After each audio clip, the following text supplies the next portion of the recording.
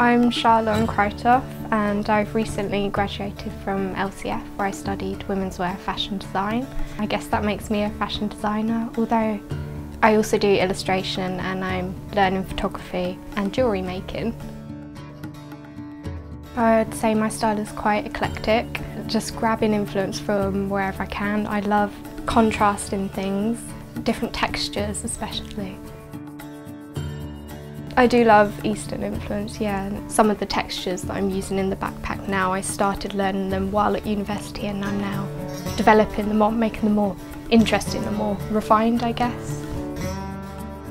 The inspiration behind my entry started off with chainmail and jewellery that I've been collecting over a long time and articles and books that I've been reading about Rani Jhansi and freedom fighters of India and what I liked most about their stories is they all wore opulent saris and jewellery and were quite feminine but also they were fearless in battle and they wore chainmail, heavy armour and I like that juxtaposition which is what I tried to recreate in this design.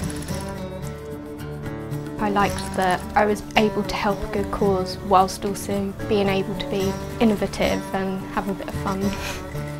I don't think my generation will think about AIDS at all, no. And I think this project, especially with design and art, it's a much easier way to get people interested and bring it up into the forefront of their minds.